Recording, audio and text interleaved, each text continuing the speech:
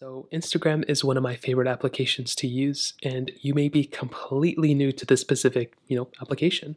So, let me go and break down exactly how to use it if you're very new to it. Now, I will say things have changed quite a bit. So, for even from last year, there's a lot of new features added.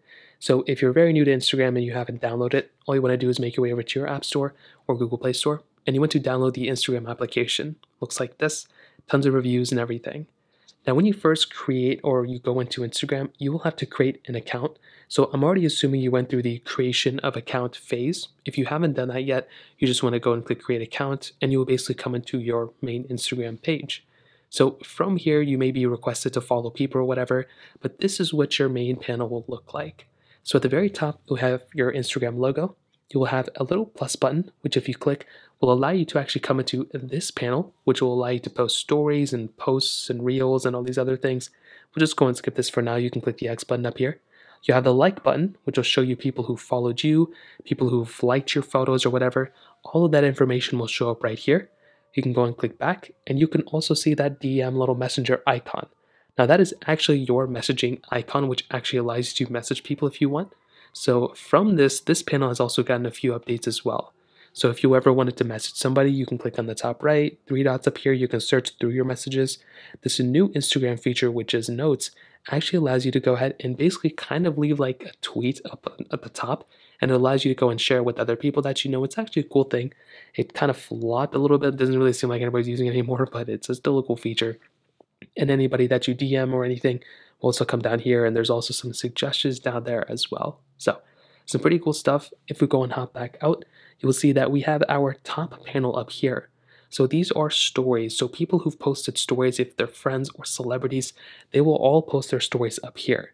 So these are basically not like posts. These are just, you know, posts that just go up for 24 hours and are deleted after. So if I were to go ahead and if I were to go ahead and open up one of these, let's say I open up Offset's, you know, Instagram page, right? So we will basically see this photo, you know, very interesting, very sad situation as well, but you'll basically be able to see the story. Now, if you want to stop it, you can, you know, kind of hold it down for a second. In four hours, though, this post will be deleted. So you have to keep that in mind in four hours. Every 24 hours, these posts get deleted unless they delete it themselves. You can like the story, you can send a message and respond back to the story by swiping up. You can also go ahead and you know DM or send the story out to another people, and basically you can add your own story as well by clicking the plus button. So that's just with the top portion. It's pretty wild. Now at the very you know middle, this is where you can go and scroll through, and you will see so many other stories and posts that people are posting. So these posts live forever. You can scroll through them and just keep scrolling. If you want to like a post, all you have to do if you want to show gratitude, just go and you can click the like button, or you can double tap on the photo like this, and you'll be able to like the photo you can also leave a comment if you want by clicking on the comment button here. You'll be able to comment on this photo if you want. You can hop back out. And you can also DM this specific photo to another person if you want to send it to a friend or whoever. You can go and do that here too, which is really cool. You can also bookmark the story or this post by clicking right here. You can unbookmark it by there as well. You can also swipe through the photos as well. So if there's multiple photos, you can just swipe through like this and you'll be able to tell if there's multiple photos because there's a little panel at the very bottom. So if you ever want to make your way over to an Instagram page, you can also just click on their profile name up here. And if you ever want to go back home, you can just click the home button and it'll take you here. So that pretty much covers it up for this first panel. Now, if you ever wanted to go ahead and search for somebody else, there's a lot of different tabs down here. So the second tab will allow you to do that.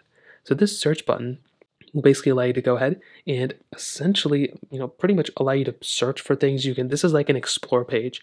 So you can scroll through here and if there's things that you're interested in, it will go ahead and show it to you. So if you want to see Travis Scott and Kylie Jenner, you'll basically see that here and it'll get smarter the more you kind of go through it. Now, if you want to search for somebody, you can always click the search button up here.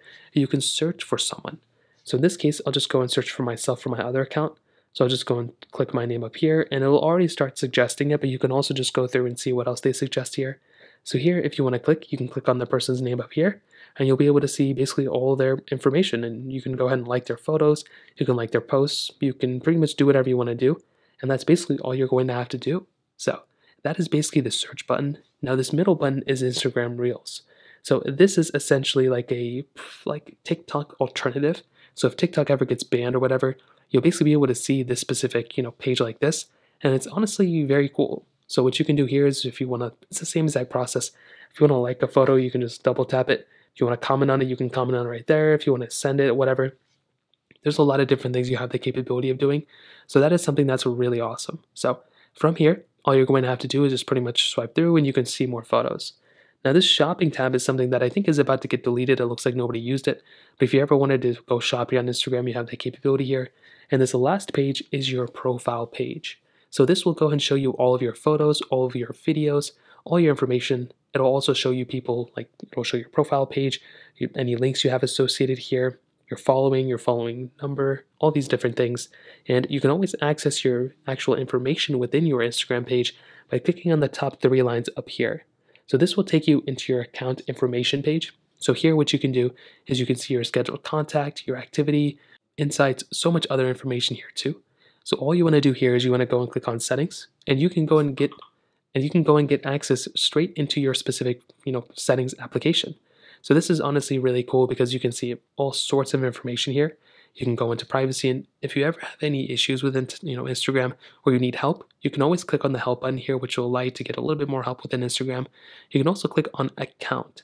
So account is going to bring you into this little page and it's going to show you more information. You can always go through here. I would recommend going through these specific panels because it'll help you kind of understand this application a little bit more.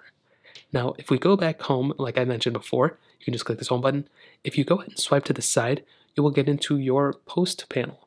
So if you ever wanted to post something on Instagram, let's say you want to post a photo you just take, you just you just taken, you can click on the post button here and you can go ahead and find that photo. So let's say I really want to share this photo out. I think people are going to love it and I just want people to see it. Well, what I can do is I can go and click on that photo right there. And I can go and click on, I can edit this you know, photo by clicking next. It'll allow me to add a filter if I want to. And I will say some of these filters are actually pretty decent. Like this one's not that bad. You can add a filter if you want. You can then go and click next and you can go and post this photo if you want to. So you can add a song if you want, you can add location. There's so many things you can do. And if you click share, that's going to go ahead and share this photo out to everybody. So just make sure you do actually have your specific captions. If you want, if you want to post it somewhere else too, you have the capability here as well. So you can always link it up, and it's actually a pretty cool thing. Now, if you want to swipe back out, if you want to cancel it, you swipe back out just like this, just like so. You click discard, go click the X button, but if we do it one more time, we swipe back, you can also post a story. So like I said, these stories get deleted after 24 hours. So if you want, you can go and just take a story like this. You can go and zoom in by swiping up, zoom out. You can also flip the camera by clicking on that bottom right button.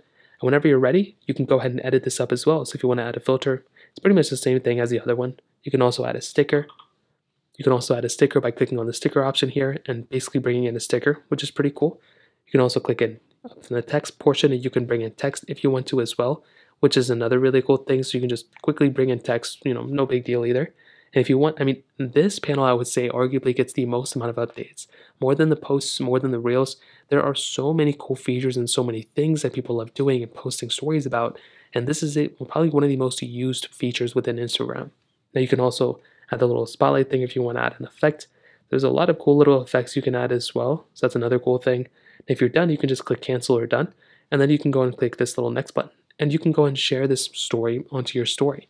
So all you have to do here is click share, and that is all you're going to have to do. If you want to discard it, you can just click here, or you can just click this little back button, click discard, and that is it. You can go and click the X button here, and it'll bring you back into your main page. So that is basically it. It's a really basic thing for the most part. It's not really a crazy uh, or hard application to understand, but that is pretty much how it's used. If you have any other thoughts or questions, please let me know in the comment section below. Hit the like button, that would mean so much, but definitely hit that subscribe button. More importantly than everything else, I love every single one of you guys. Hopefully I'll catch you guys in the next video. Peace out.